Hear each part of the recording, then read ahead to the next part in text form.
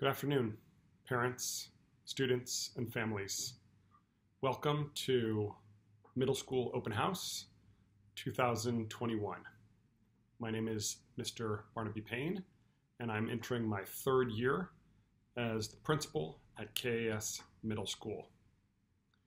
As many of you know, I am from California, and I have been a teacher and principal for almost 25 years. I'm honored to be serving as the middle school principal again this year. This year at KAS Middle School, we have about 205 students in grades 6, 7, and 8. Every student takes eight courses in our International Baccalaureate Middle Years Program School. Each course in middle school directly prepares students for the International Baccalaureate Diploma program in high school, known to be the most rigorous high school diploma in the world. And also known to best prepare students for colleges and universities all over the world.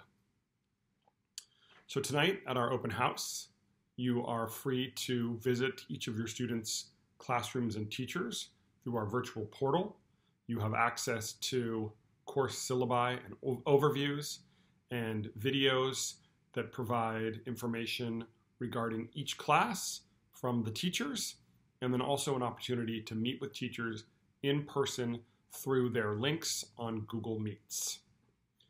I'm sorry we can't be in person this afternoon because we miss having parents on campus, but I'm happy that we can at least um, interact in this way so that you'll be able to understand what your child is doing in school and you'll get a chance to meet teachers and have a better understanding of our core curricular program.